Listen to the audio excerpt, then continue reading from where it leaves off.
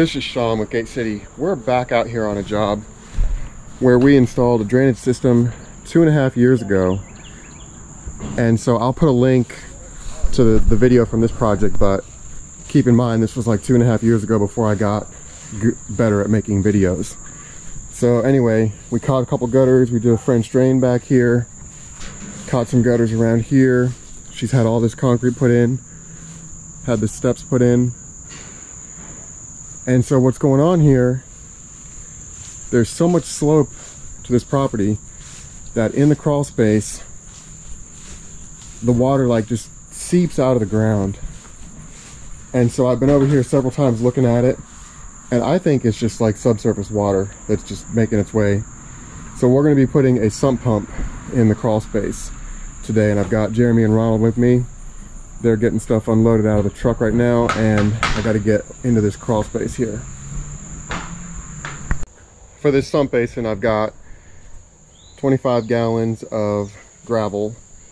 I've got a bunch of fittings. I've got a sump basin, got a sump pump right here. This is a Zoeller M98. Really nice pump. Got a bunch of fittings. And I'm also going to be extending a receptacle, adding a receptacle so let's take a look at what we got going on under here. The homeowner had all this gravel installed under here and this part of the crawl space is like a huge bank that goes up and the water just seeps out of it. I'll show you that in a sec here. But we're headed over here to this low point.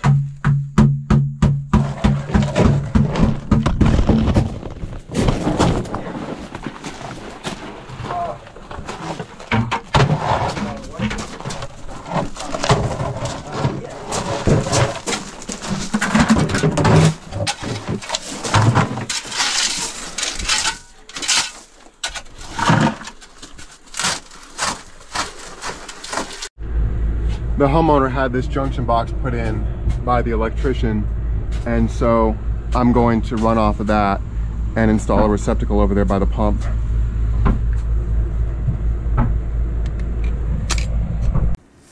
The first step in this sump pump installation is to get the basin hole dug out and so the guys are just digging out this dirt and dropping it in some buckets and then they're handing it out to me and we're just dumping this extra dirt in a wooded area on the property. So that's our first step is get this sump basin dug out.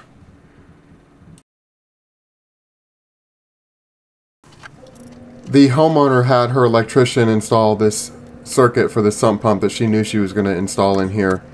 And so he put in a 15 amp circuit on a GFCI breaker. And so I just extended that out over to where the pump's going to go. Now this is a Zoeller M98 sump pump and it pulls 9.4 amps.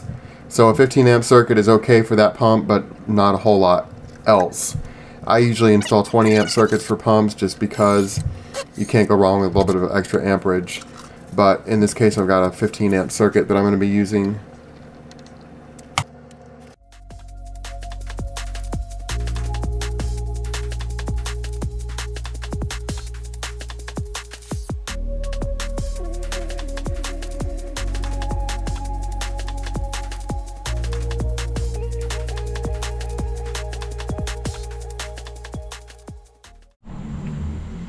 pump we are going to install is a Zoeller M98. This is a really nice pump and it will pump solids too, so any debris that gets in there, it'll pump them right out.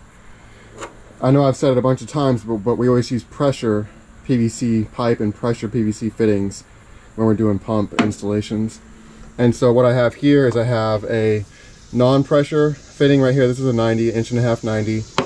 and this is a pressure inch and a half 90. So take a look at the surface, the gluing surface difference.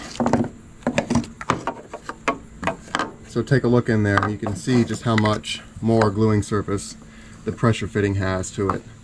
So don't use non-pressure fittings for pressure applications.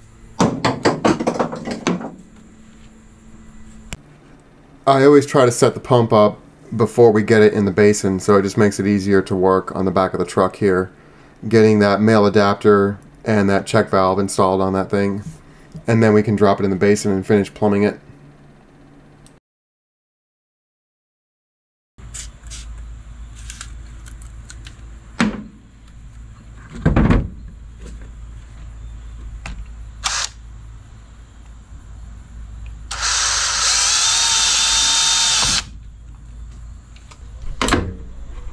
Alright, that pump is set up now. The manufacturer calls for that hole to be drilled right there before the check valve and any air that gets in there, that'll, that hole will let that air get out. So now this thing is ready to carry down there to the basin. Alright, I just got my receptacle plugged in. Got a circuit tester here. So that means it's good. Ouch.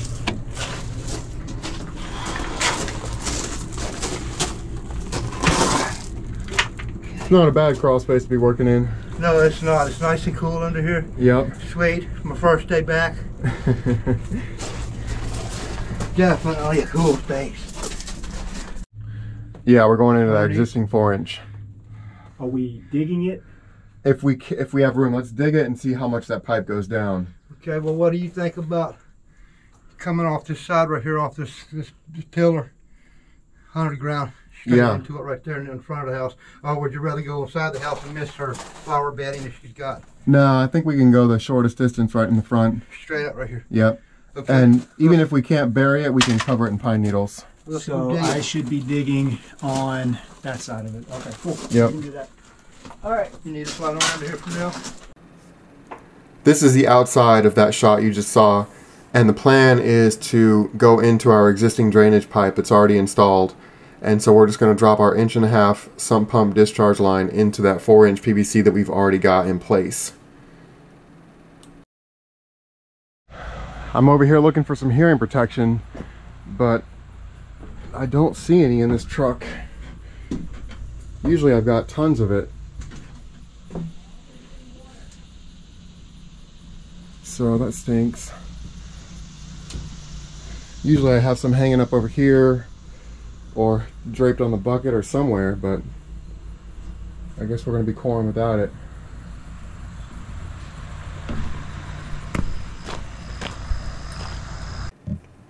After we got the pine needles pulled back, we got out the core drill and we're going to core through this foundation. It's just a brick foundation.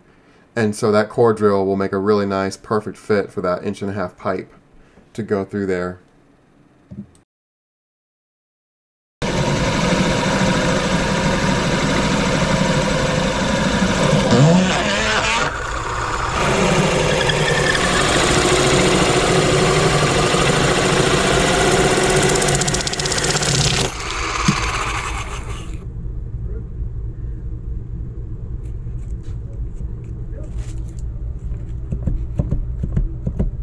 There you go.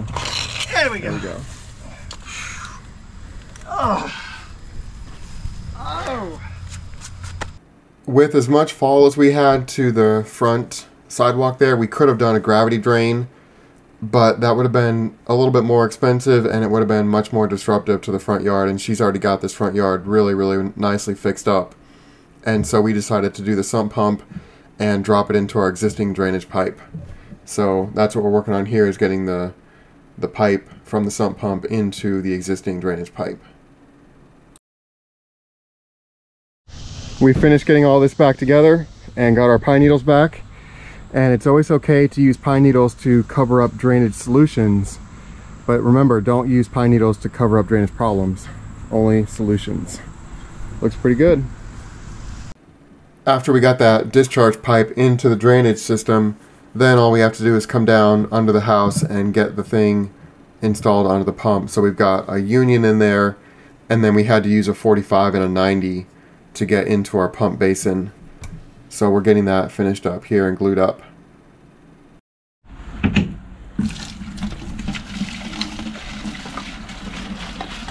We're going to test out our new sump pump, but we had to bring some water with us. Way somewhere, we'll find a way. Yeah.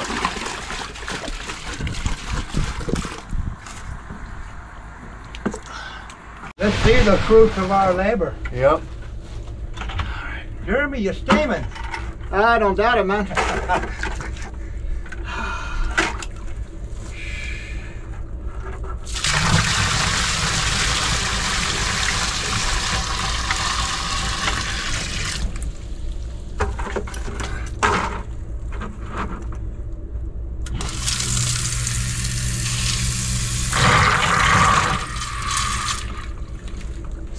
need to adjust the. Nope, that's good. Oh, she's good. Just needed some more water. Okay. And having that that check valve way down low means there's not a whole lot of water that falls back in there. Right. Okay. Cool Cool. deal.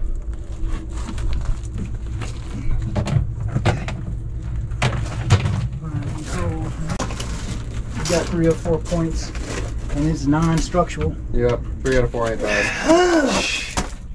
I feel like that's a song. Is that what meathead said? Yep. Meathead. Meathead. Stop. all right, we're all finished with the sump pump install. So all that water will come floating down to this low point and get evacuated.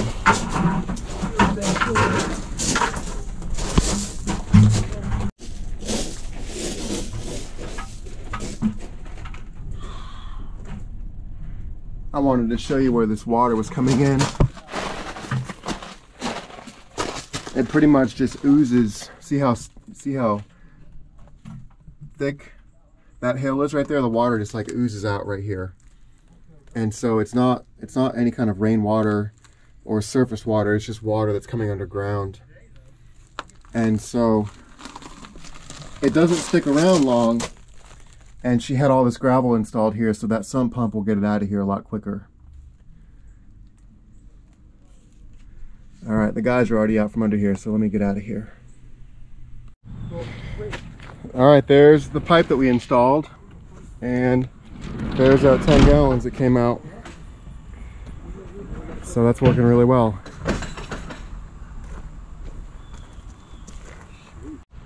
On the other side of the house, we've got our discharge right there. If you remember, we put this catch basin in, and we caught that gutter and we caught a couple gutters on the other side over here. Oh yeah, this one. And I guess that one's going that way. So yeah, this looks a lot different from when we were here last. Looks really good.